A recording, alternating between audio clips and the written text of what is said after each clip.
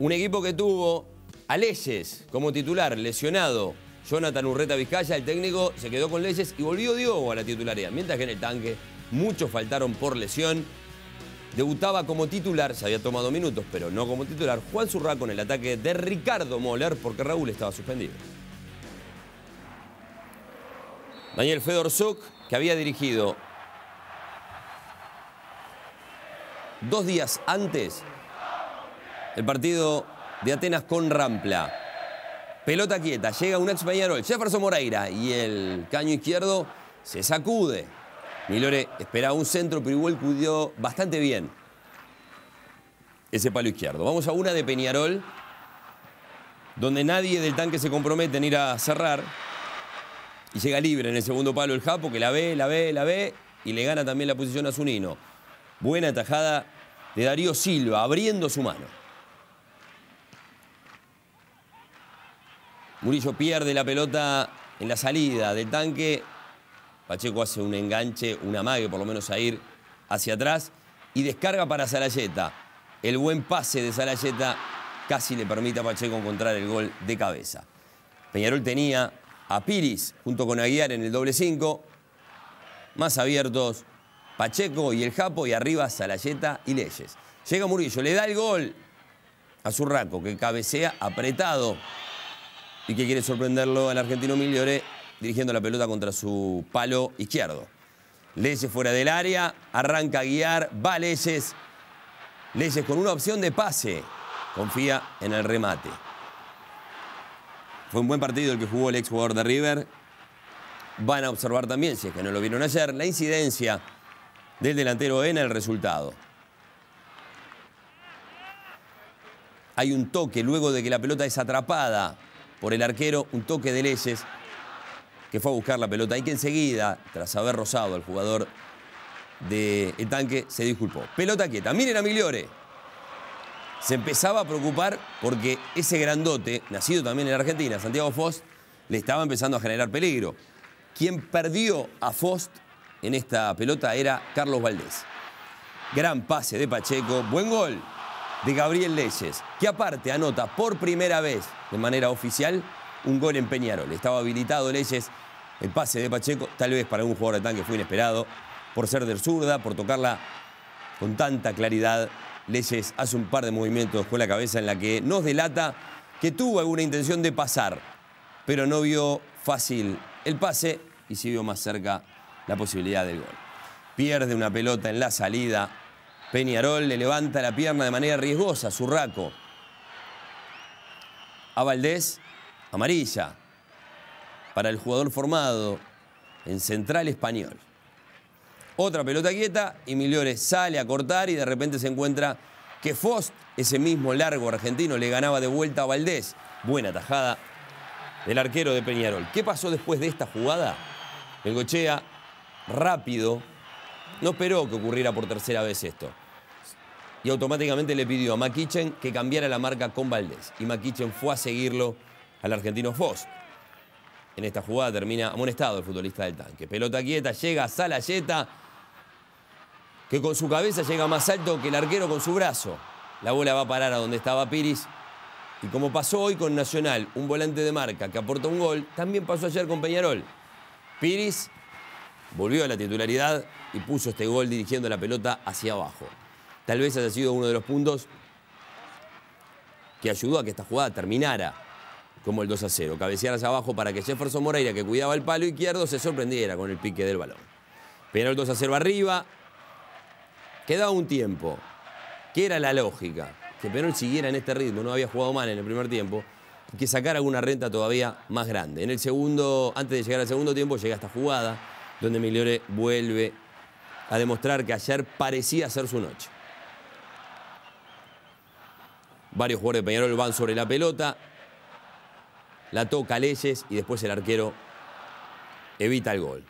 Pacheco busca guiar, que en un momento tiró un tiro de esquina, ¿no? Un, perdón, un tiro libre con pierna izquierda y después fue y le pegó con derecha. Un jugador que maneja bien las dos piernas. El arranque tiene esta chance. Atención porque es una de las últimas claras que Peñarol generó.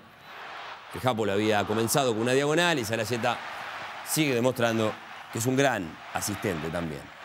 Buena tajada de Darío Silva. Hasta ahí llegó Peñarol casi. Después de esto, empieza a mejorar el tanque. Y en consecuencia, Peñarol se olvida casi de atacar. Tiro débil de Surraco para que apriete.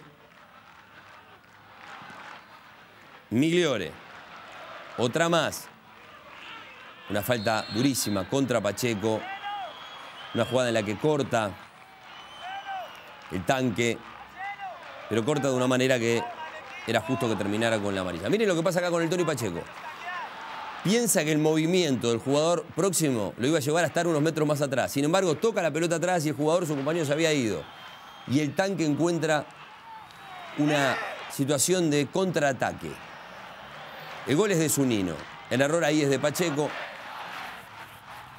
Tiene un mérito, por supuesto, el tanque, que pone cuatro jugadores para atacar en esta. Y Peñarol solamente estaba parado con tres. Los dos zagueros centrales y el lateral derecho, porque Diogo ya estaba en una posición más ofensiva. Zunino acorta. Quedaban por jugar unos 28 minutos. El técnico enseguida, no dudó, saca a Pacheco, pone a Novik, a Marcel, y después pone a Hernán y lo saca a Leyes. La salida de Pacheco se entendía, la salida de Leyes sigo sin entenderla. El Japo Rodríguez cede la pelota para que Novik, Hernán tire. Y después la rapidez de Salayeta al lado de la, lentitud de Fost. Le permitieron al equipo de Bengochea reencontrarse con una posibilidad de relativo peligro. Peñarol perdió todo volumen de juego ganado en el primer tiempo, lo perdió en el segundo.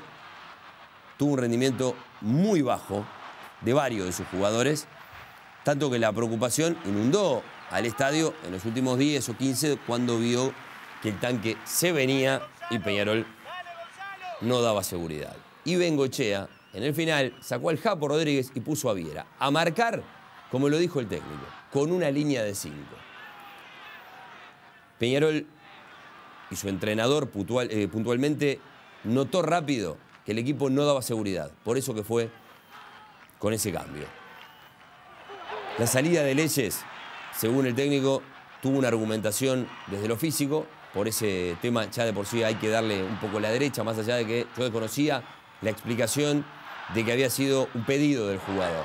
Los movimientos del futbolista no demostraban que hubiera estado con algún inconveniente. Bengochea preocupado porque el tanque seguía y seguía y así va a terminar el partido. Con Zunino teniendo este tiro frontal, la pelota se va por arriba y Peñarol terminó festejando el cierre del partido una imagen atípica para un equipo que ayer sufrió para ganar y defendió para poder terminar obteniendo este triunfo. Un 2 a 1 que le permitió a Peñarol seguir puntero. bajas obligadas, suspensiones, lesiones, y eso afecta.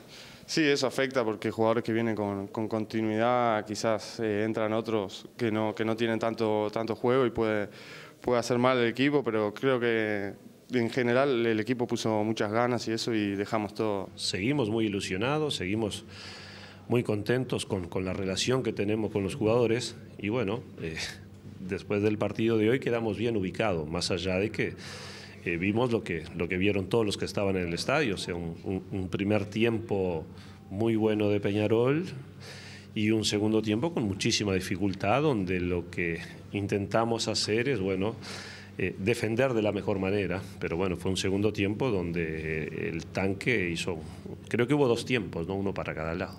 El fin de semana anterior precisábamos hacer cambios ofensivos y bueno, el equipo iba perdiendo y se fue arriba. Eh, hoy volvimos a perder una pelota sencilla, eso nos costó un gol y, el tanque se motivó con ese gol, estaba solo un gol.